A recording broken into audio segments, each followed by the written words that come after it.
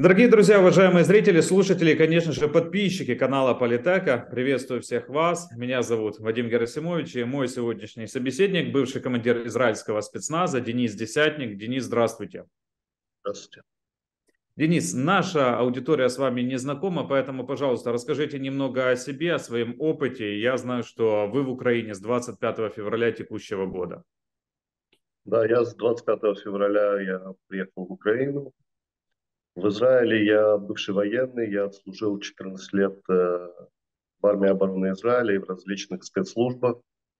А, потом я в течение 8 лет э, инструктировал по всему миру, э, инструктировал стрельбу, тактику боя.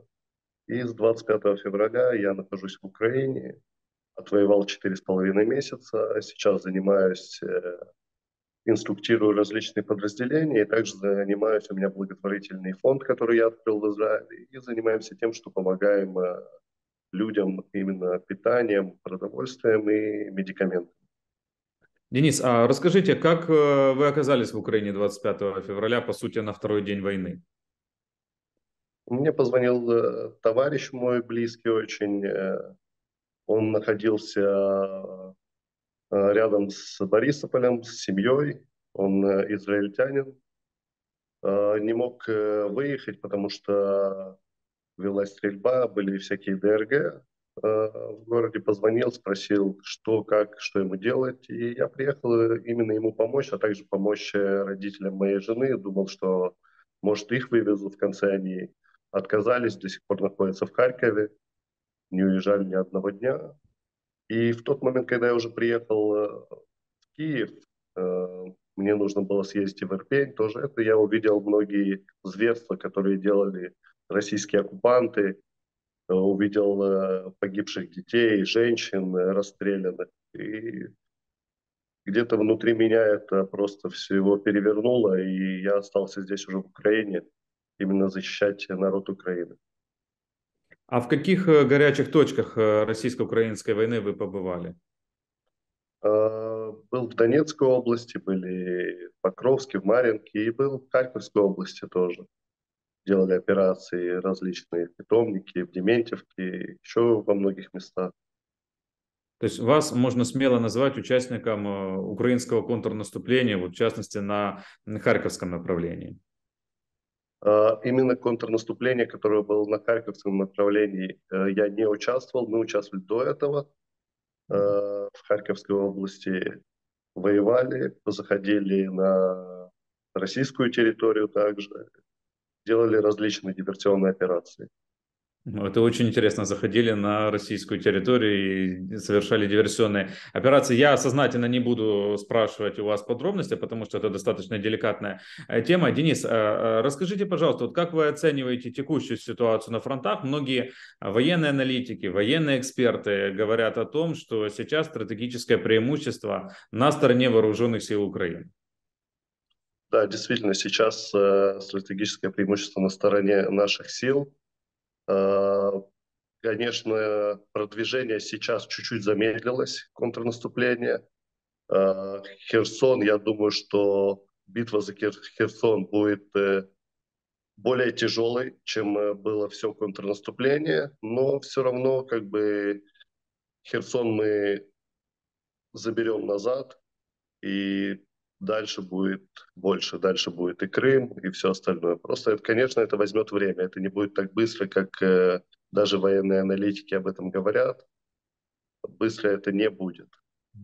По поводу фактора времени, конечно же, не будем гадать на кофейной гуще, но исходя из текущей ситуации, на ваш взгляд, сколько необходимо времени, чтобы деоккупировать э, Херсон, освободить э, территорию Херсонской области от э, российских захватчиков? И если же углубляться в определенные политические нюансы, можно ли говорить о том, что вот это каскадное обрушение путинской армии как раз начнется из освобождения Херсона? Херсон, я думаю, возьмет где-то деоккупировать ну, месяц-два. Я не думаю, что это будет быстро, потому что э, значительное тоже количество вооруженных сил российских оккупантов находится там и находятся именно более профессиональные военные, чем, скажем, не просто э, военных, которых сейчас мобилизуют, которые без э, какого-либо навыка. Поэтому я думаю, что это возьмет э, достаточно долгий период, именно месяц-два. Э, но также надо не, запро- не забывать, что у нас есть э, Донецкое направление, именно как Бахмут, где ведутся тоже очень тяжелые бои, э, что там ситуация тоже, она не такая простая, и это тоже возьмет время. И по поводу Крыма тоже. Я думаю, что все это возьмет время, если, конечно, не будут э, какие-то переговоры, что в конце концов все равно война заканчивается, любая война заканчивается именно переговорами. Поэтому если, может быть, э, в самой России именно народ взбунтуется и будет как-то более протестовать, то я думаю, что может придут к каким-то переговорам и более все-таки надеюсь, что выведут войска именно с наших территорий. Вы верите в то, что э, население российское, оно выйдет на различные там акции протестов, начнутся бунты, какие-то демонстрации, э, реально российское население начнет требовать там свержения Путина? Э, я надеюсь на это, я слабо в это верю, потому что сами они как бы народ трусливый российский, и они, даже сейчас мы видим, их э, мобилизуют, и неважно, неважно что делают, они сидят очень маленькое количество людей, выходят и протестуют. Но если будет более большая мобилизация, они вернутся к этой мобилизации, потому что мы нейтрализуем все равно большое количество их войск, и это будет продолжаться. Я думаю, если они увидят, что снова будет сильная мобилизация, и то, как было это в Дагестане, что люди вышли на более такие сильные протесты, я думаю, что это может произойти и в России. Как бы на это очень надеюсь. По поводу Херсонского направления, скажите, правильно ли я вас понимаю, что противник э, ну, в большей мере представлен регулярными войсками, нежели там э, мобиками и ЧВКшниками? Э, да, более регулярные войска. Есть, конечно, и ЧВКшники тоже находятся там в Херсоне. И затруднение Херсона именно будет, почему будет тяжело взять, там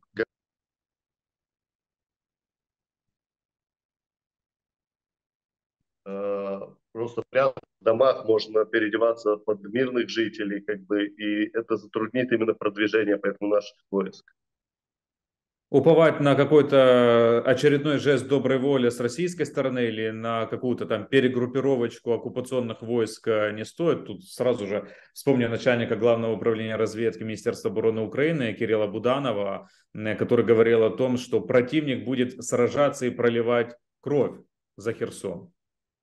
Да, я тоже так думаю, потому что для них это стратегически важный округ, что они его не будут просто так отдавать. Поэтому я думаю, что они там именно усиляются и будут очень э, тяжелые бои. Денис, а насколько условия погоды, они существенно влияют на ход контрнаступательных действий? Вот э, министр обороны Украины Алексей э, Резников, ну, по сути, месяц тому назад, говоря о замедлении продвижения украинской армии, сказал, что, да, вот фактор погоды, и он внес определенные коррективы.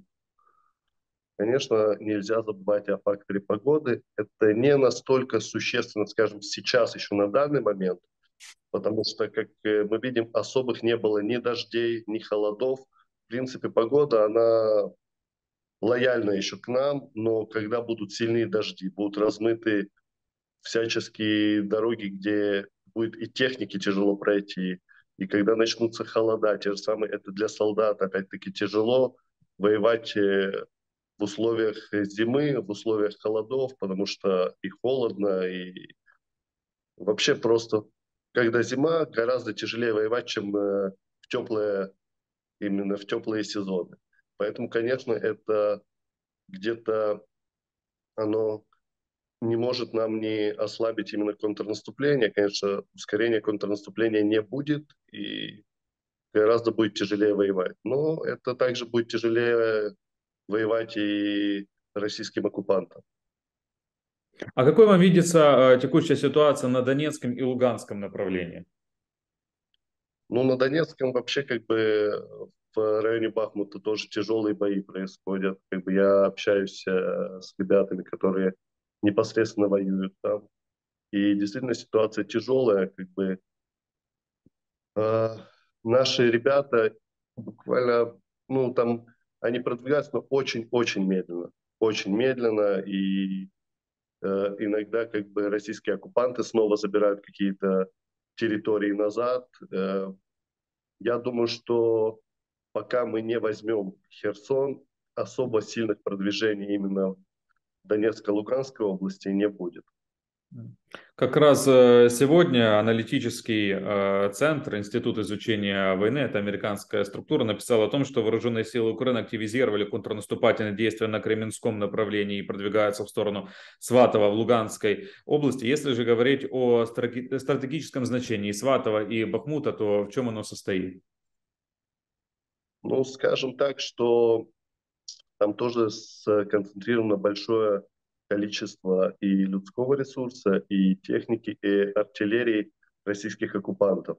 Именно они в основном, э, почему очень тяжело продвигаться, потому что очень э, сильно они кроют там артиллерии, и поэтому нашим войскам тяжело как-либо вообще вести какое-то контрнаступление. Они в основном на, находятся как оборонительные позиции. Там сейчас они больше не дают продвигаться врагу в нашу сторону дальше. Поэтому туда нужно будет стягивать более тяжелую технику, артиллерию нашу тоже, чтобы можно было продвигаться. Денис, а что собой представляет э, российская армия на сегодняшний день? Насколько существенно те же мобики, ЧВКшники, они делают э, погоду на фронте? И как э, изменился вот противник за эти 9 месяцев войны? ну, значительное количество российских оккупантов мы истребили. И на сегодняшний день те же ЧВК «Вагнер», которые э, представляли собой хоть что-либо, они сегодня, мы видим, они призывают даже тех же заключенных, потому что э, количество именно профессиональных военных у них гораздо уменьшилось. Но нельзя забывать также, что все равно есть, есть остались еще именно и ЧВКшники, которые подготовлены неплохо. Те же самые кадыровцы, которых снова посылают, они все равно, так называемые тикток-войска, они все равно более-менее лучше обучены, чем те же самые мобики, которых призывают на сегодняшний день. А, поэтому все равно как бы мы не должны забывать, что бои будут да, тяжелые, хотя а, Плюс у нас один в том, что все равно э, российские войска и россияне, они сами по себе, они трусливые. У них э, нету ни духа, и тем более у них нету никакой мотивации. Они в основном это делают из-за чего? Из-за денег, из-за того, чтобы помародерить.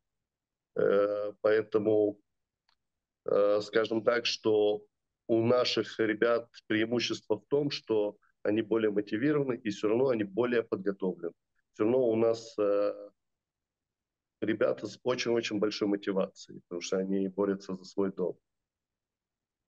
Денис, а правда, что вот в российской армии существует э, множество внутренних конфликтов, противоречий, что там армейцы даже физически устраняют кадыровцев, определенные трения есть между ЧВКшниками и представителями Рамзана Кадырова. И это все происходит на фронте. Да, конечно, есть. У них там происходят различные насилия. Э, российские именно, скажем так, поделим их, э, скажем, э, российские войска и кадыровцы, скажем, они с друг с другом не сильно там, у них идеальные отношения, одни насилуют других, те насилуют этих, у них постоянно какие-то конфликты возникают, это тоже нам на руку, скажем так, потому что они где-то кто-то пытается бежать, где-то кто-то пытается сдаваться в плен, и, конечно, когда есть междуусобные, скажем, войны, то это большой плюс нам. У нас, э, слава богу, такого не происходит. У нас, потому что все как один кулак, мы с одной целью просто боремся с тем, чтобы вытурить с нашей земли эту нечисть вообще. Э, Денис, я не знаю, насколько вы это замечаете, но почему-то у нас формируется такой тренд, скажем, э, тренд оболванивания противника. Они вот э, в образе дебилов зачастую вот такой образ им приписывают. А, конечно же, о каком-то пиетете и речи не может идти, но вот такое отношение, оно зачастую формирует определенные шапкозакидательские а, настроения, вот эту браваду не нужно. Вот что бы вы сказали тем людям, или вот э, относительно того мнения, что, ну, по сути, украинская армия, она сражается ну, с армией дебилов, что это пьяницы, там, алкоголики, наркоманы и прочее, прочее, прочее. Это имеет место быть. Это имеет место быть не просто так, потому что действительно э, у них очень большое количество в армии людей, как бы это вообще вся нация российская, скажем, они любители выпить, никому не секрет, и это происходит э, то же самое и на фронте. Они в основном ищут, где им набухаться и все. Скажем, уважение какое-то проявлять к ним. Понятно, что наши военные не уважают их, не уважают их не как людей, не как военных, не как э, вообще никого просто. Поэтому... к военнопленным относятся хорошо. К военнопленным, да, относятся хорошо, потому что э, украинские войска, они сами люди, они просто человечные, они просто относятся не из-за того, что военнопленные или что, потому что у нас люди более человечные. Вот и все. Не уважение, потому что какое-то уважение как бы ну, к ним просто нельзя испытывать. А, нельзя, скажем, недооценивать врага. Мы должны все время быть как бы именно подготовлены хорошо и воевать не расслабляться. Это нельзя делать, потому что все равно у них есть тоже профессиональные военные, у них не все бездарные, скажем так, мы, да, должны держать ухо востро и очень, э, скажем, четко воевать, нельзя расслабляться. Уважение какое-то нет, уважения, к ним уважения нет никакого и не должно быть, потому что они не воюют именно просто, скажем, воюют против солдат, просто война или еще что, они прикрываются мирными жителями, они убивают мирных жителей, они насилуют, издеваются над мирным населением, так какое может быть уважение к такому противнику? Никакого уважения быть не может. Но недооценивать, недооценивать, просто скажем... Что мы их там одной должны, левой? Мы должны все время, да, мы должны все время очень-очень быть четко вообще натренированы, четко постоянно тренироваться, как физически и с, э, тактически, вообще постоянно, как бы мы должны очень четко говорить. Тогда мы просто более уверенно и более быстро искореним этого врага с нашей территории. А как противник использует э, на войне э, частично мобилизованных этих э, мобиков, которые эти мобики лягут в гробики? А вот относительно их роли зачастую слышу о том, что а, они выступают в роли пушечного мяса, их отправляют вот в первых рядах. Вот как это происходит на самом деле? Конечно, их тоже как бы на, сам, на самом деле сейчас как бы они не э, всех мобилизированных своих еще, скажем так, послали на фронт. Они тоже проходят какое-то обучение, хотя я не скажу, что там суперпрофессиональное обучение, но все равно они что-то чему-то обучаются, что-то делают. Какое-то количество мобиков они, да, послали на фронт, именно усилить свои войска, которые находятся на фронте, и где-то сдержать наши войска чтобы сдержать где-то контрнаступление, даже просто как пушечное мясо, которое даже не важно, он куда попало стреляет, это все равно сдерживает количество э, людского ресурса, оно все равно сдерживает где-то войска, и все равно затрудняет нам продвижение. Поэтому, да, какое-то их количество войск они посылают, да, как пушечное мясо, где-то более профессиональные войска они оставляют на второй линии, просто именно сдержать как э, просто именно пушечным мясом. Просто. А Какое-то количество они, да, подготавливают, и я думаю, что они э, в скором времени именно запустят всех мобилизированных, которых они мобилизовали э, военных, они, да, запустят. Это тоже усложнит нам продвижение и усложнит нам, э, скажем, бои. А, Денис, если говорить... Если говорить о вооружении, скажем так, о железе, то чем воюет наш противник? Вот какую характеристику вы бы дали? У них как бы то, что мы видим, как бы у них э, вооружение, скажем, именно личное вооружение, как бы очень много раздается ржавых автоматов и вообще, скажем, они для более именно спецуры свои выдают, да, более хорошее оружие, а для простых мобиков они выдают то, что валяется на складах, давно заржавело, и... но все равно даже это ржавое оружие, оно стреляет, об этом тоже нельзя забывать. Ржавое, не ржавое, оно стреляет, оно имеет свойство убивать. Поэтому я же говорю, мы должны очень-очень четко, сконцентрированно, продуманно, нельзя расслабляться. Война не закончилась, и война продолжается. Это нужно знать и тем, кто воюет, и людям, которые находятся в простых городах, в простых областях, в Киеве, в Днепре, везде, что война идет, и война идет полным ходом. Согласны ли вы с утверждением многих военных аналитиков, что нынешняя российско-украинская война – это прежде всего артиллерийская война, война артиллерии? А, это имеет место там быть, как бы, да, очень сильно артиллерия, как бы, что с, со стороны России, что с нашей стороны, в основном очень сильно работает артиллерия.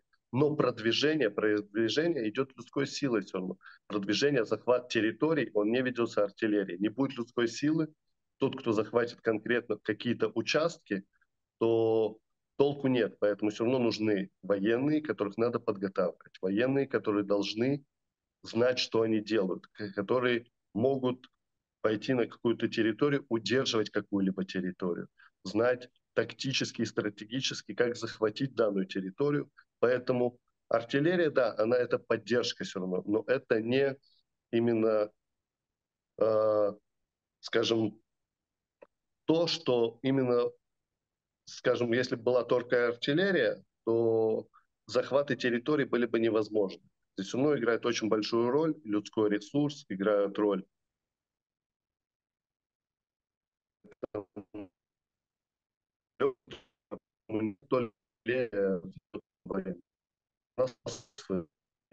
это не основное, то, что основное это всегда будет людской ресурс и профессиональный людской ресурс. Ну, то есть, по сути, человеческий ресурс, он на войне является ну, одним из э, определяющих. Денис, относительно военной помощи, хотел бы у вас спросить, какого вооружения сейчас а, не хватает на фронте. Конечно же, есть в этом вопросе определенные политические нюансы. Издание Forbes писало, что НАТО передало Украине всего лишь 4% своих существующих артиллерийских систем, хотя украинский президент Зеленский просил у НАТО 1% оружия для победы в этой войне. Скажем так, что нам каждый, э, во-первых, нам очень нужны системы ПВО, скажем так. Это первое, то, что нам нужно, и мы постоянно просим и у Запада, и у НАТО, чтобы передали систему ПВО, то же самое от э, беспилотников иранских. Нам нужно как-то защищаться, которые просто вот буквально сегодняшней ночью там мы Днепр бомбили снова, и они не направлены стратегически именно, они просто куда попало, они попадают, попадают э, в жилые именно кварталы и погибают люди. И также сейчас э, Россия заказала и баллистические ракеты, им должны Иран передать. Как бы нам нужны прежде всего системы ПВО. Это в том, в чем нуждается Украина, чтобы закрыть свое небо. Также нам нужны и артиллерийские тоже всякие установки, такие как Хаймарсы и тому подобное, потому что которые ведут более точечное именно они точно попадают в конкретные цели, потому что именно благодаря таким установкам мы можем как бы точечно бить, скажем, по Крыму, когда, дай бог, мы возьмем Херсон, то дальше продвижение, оно зависит тоже для того, чтобы поддерживать, чтобы людской ресурс именно нашей части могли дальше продвигаться то да, я считаю, что на данный момент это все равно недостаточно, то, что нам передали, и нам нужно очень большое количество. Очень большое количество как снарядов, так и самих систем. Вы говорите о том, что это вооружение недостаточно. Недостаточно, потому что а, наши партнеры а, предоставляют вооружение в ограниченном а, количестве по причине того, что ну, попросту это тот максимум, который они могут дать, или все же они, скажем так, э, жадничают, и тут уже включается там политика и какая-то геополитика. И на ваш взгляд, вот существует ли ну, какой-то глобальный консенсус относительно того, что Украина должна нанести вот это стратегическое поражение России в этой войне, о чем э, говорили многие западные политики? Конечно, я думаю, что больше где-то жадничают, что нет то, что у них нехватка, вооружения хватает, как и у, у стран Европы, так и у Запада, которая может передаваться. Все время мы видим где-то какие-то затруднения политические, то задерживают какую-то поставку вооружения, то отменяют, то снова что-то говорят, но в меньшем количестве, не отправляют именно нужное количество вооружения. Если было бы отправлено нужное количество вооружения, то мы бы уже давно могли победить врага.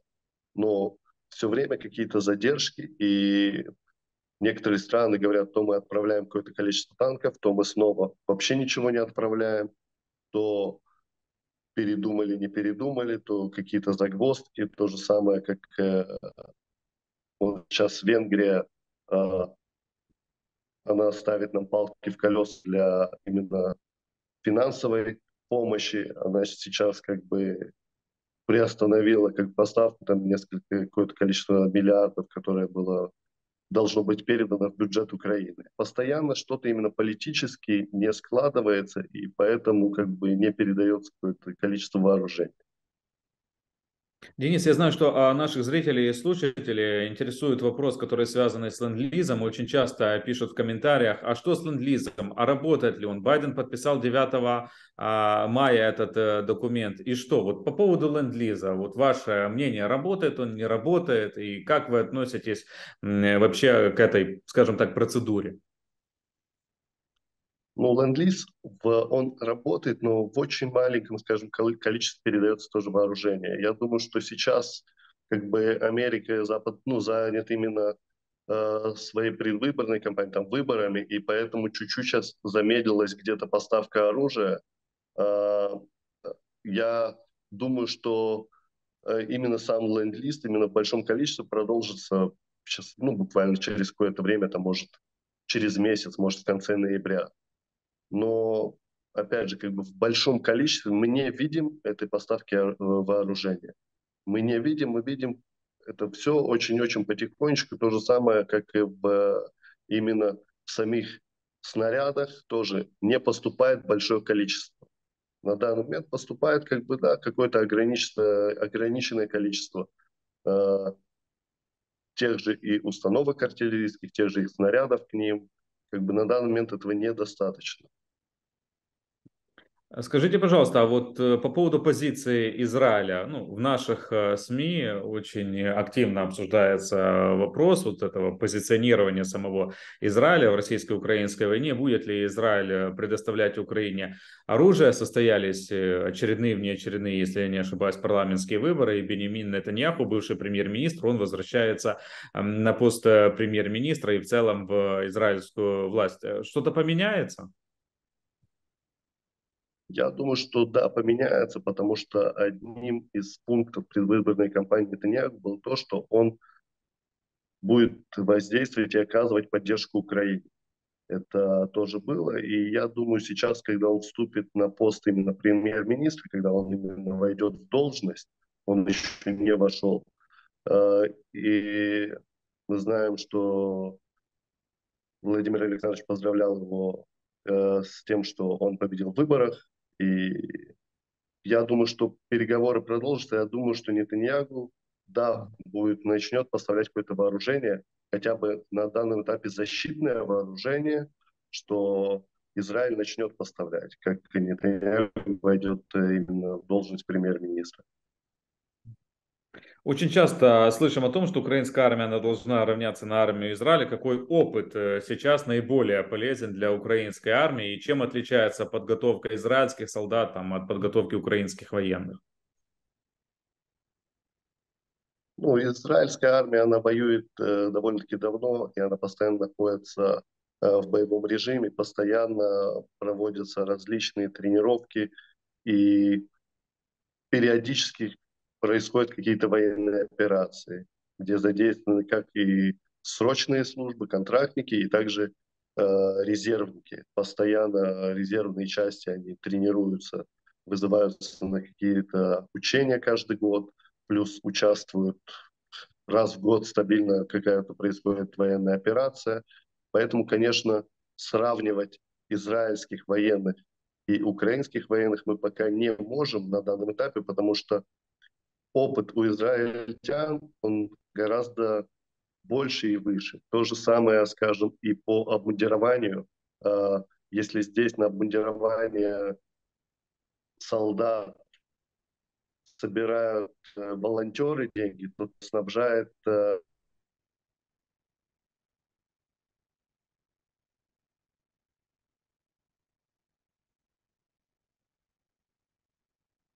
Так. Вы слышите меня? Да, я вас слышу, да, можем продолжать, все нормально.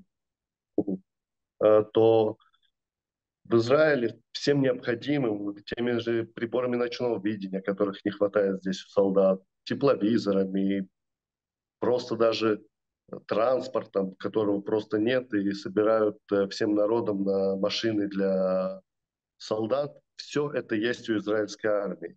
Этим всем занимается бюджет страны, который очень сильно один из, э, скажем, самых основных в бюджете критериев, он выделяется на армию. Очень-очень сильно содержится армия, потому что это безопасность страны, безопасность государства, безопасность людей. И поэтому как можно больше денег выделяется на бандирование солдат, выделяется на тот же транспорт, выделяется на тренировки солдат, на обучение. Все это выделяется. К этому Украина придет, только придет гораздо-гораздо позже. Украина сейчас потихонечку-потихонечку начинает к этому приходить. Но это, к сожалению, тоже жалко, что этого не было раньше, потому что ну, никто не думал, что будет такая ситуация вообще, что это возможно какая-то война.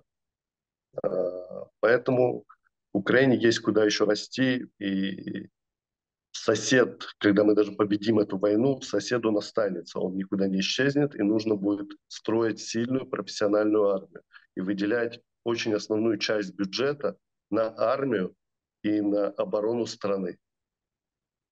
А насколько сейчас является ощутимой поддержка украинской армии со стороны э, волонтеров, волонтерских движений, благотворительных фондов? И поменялось ли отношение э, власти к армии вот за эти месяцы войны?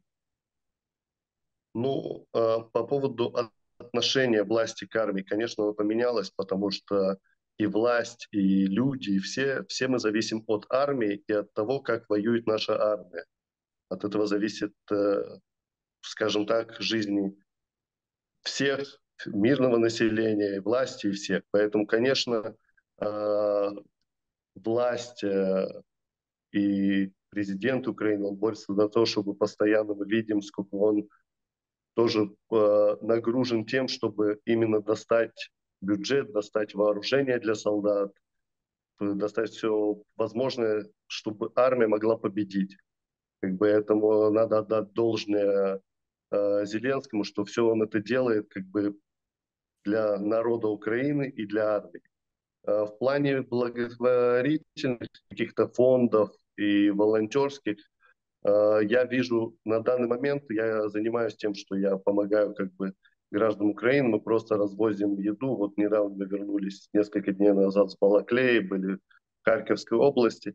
Люди просто, ну, действительно, именно у людей нечего есть. На деоккупированных территориях мы приезжаем, мы раздаем еду, медикаменты. Люди благодарны, потому что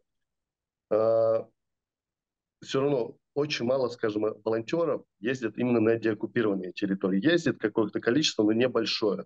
Из-за чего? Потому что те же волонтеры, они где-то даже боятся поехать на те территории, которые недавно были освобождены и еще находятся, э, скажем, в прямом э, соприкасаются где-то с э, российскими оккупантами.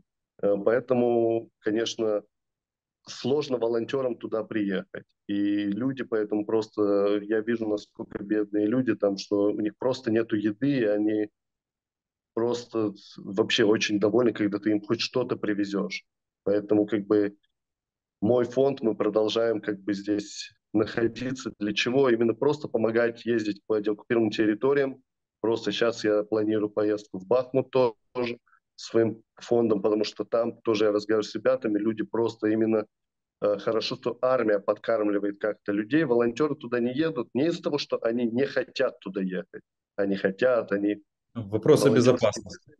Безопасности. Это простые волонтеры, это не военные. Это простые люди, которые, да, хотят помочь, но они это легитимно, что они просто этого боятся. Поэтому э, у меня в фонде как бы я набрал именно ребят, которые воевали, бывшие все военные, что мы едем туда, поедем сейчас в Бахмут, именно просто раздать людям еды, чтобы люди как-то могли выживать.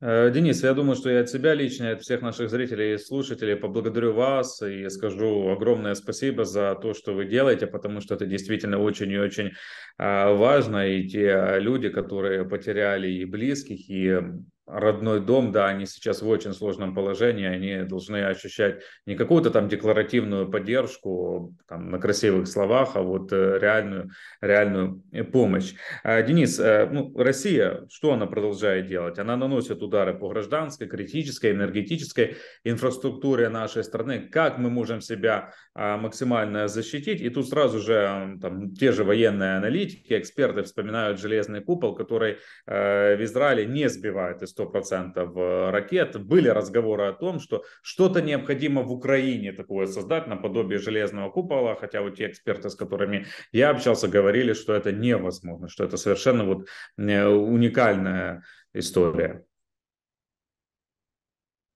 Ну, во-первых, э, как я уже говорил, что необходимы в первую очередь именно системы ПВО, которые закроют нам небо. Просто чтобы обезопасить мирных жителей, потому что простые жители, не военные, женщины, дети, старики, которые просто живут, они просто не чувствуют себя безопасно не из-за того, что плохо как-то работает наша армия или еще что-то, а просто из-за того, что те же иранские дроны, которые летают беспорядочно и могут упасть где попало, буквально в любое здание.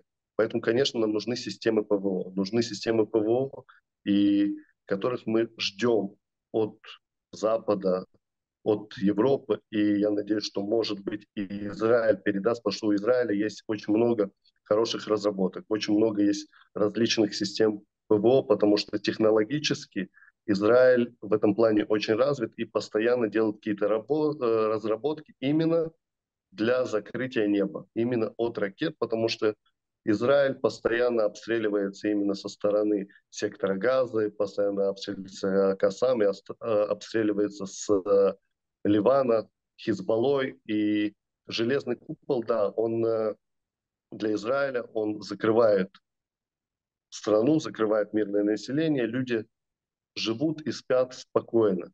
А, как насчет Украины, что я не знаю, насколько бы железный купол здесь работал, потому что здесь э, ракеты совершенно другие.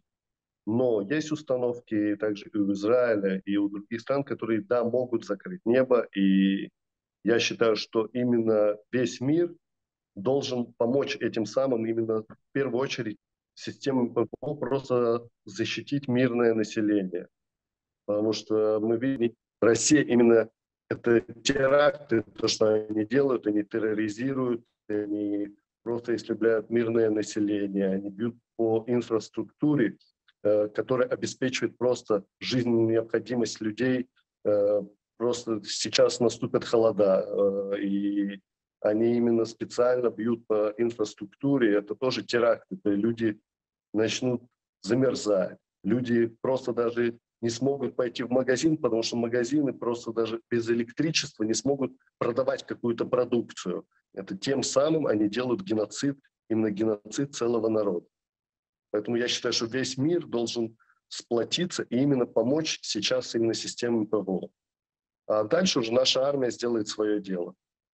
То есть ПВО – это приоритетный э, вопрос. Э, Денис, мы уже приближаемся к завершению нашего с вами э, эфира. Относительно перспективы деоккупации Крымского полуострова, хотел у вас спросить. Бывший командующий сухопутными силами США в Европе Бен Ходжес считает, что к лету 2023 года Украина освободит Крым. Похоже, прогноз ранее делал и Кирилл Буданов, которого мы с вами сегодня вспоминали.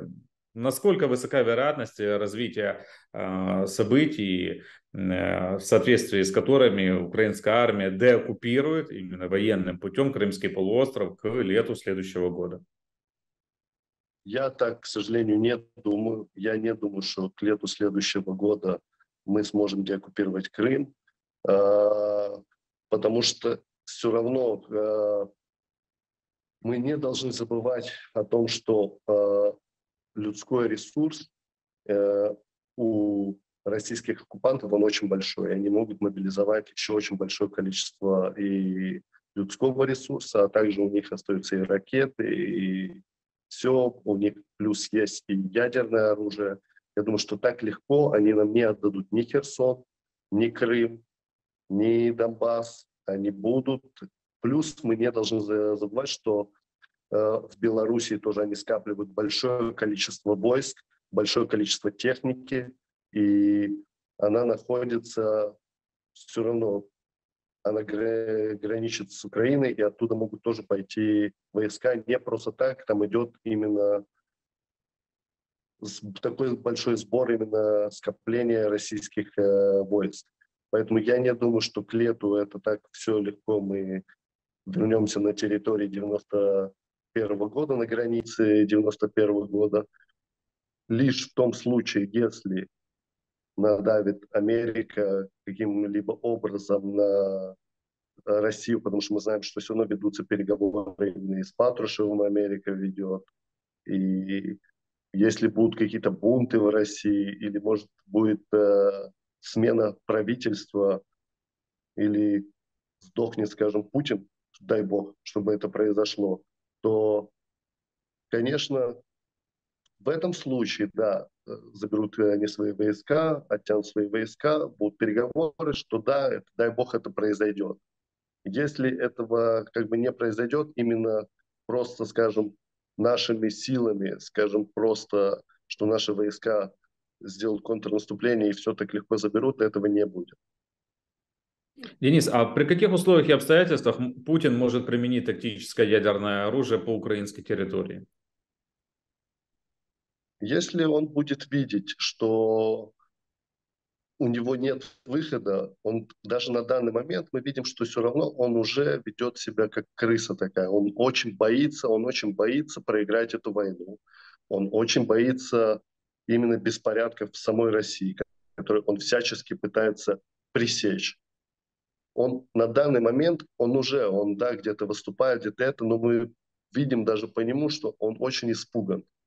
Он уже начинает загоняться. Если он увидит, что он проигрывает, то он, да, может э, применить ядерное оружие именно точечно где-то. Скажем, не по всей территории Украины, но точечно он где-то может его применить. Именно показать какую-то свою силу. Загнанная крыса, она все равно очень опасна, она начинает кусаться, начинает огрызаться.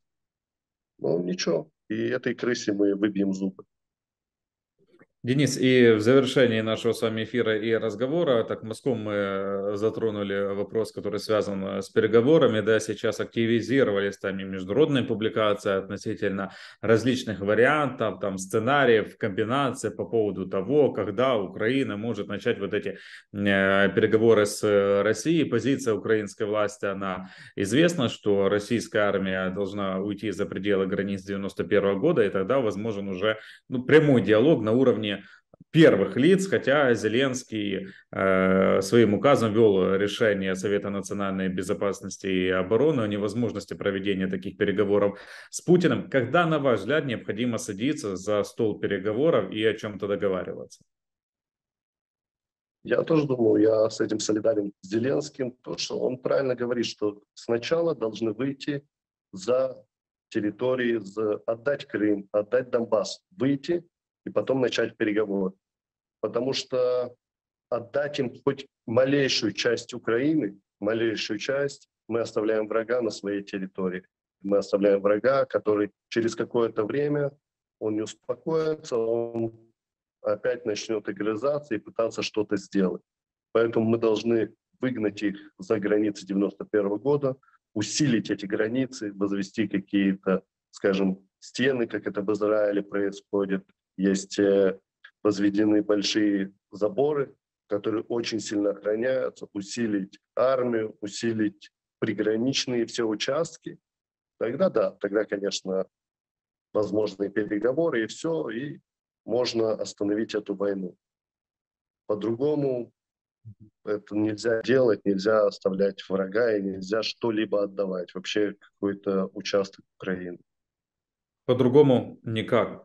А, ну что же, Денис, э, будем завершать. Огромное вам спасибо за этот э, разговор. Благодарю, что нашли время для нашей аудитории. Денис Десятник, бывший командир израильского спецназа, был сегодня вместе с нами на Политека.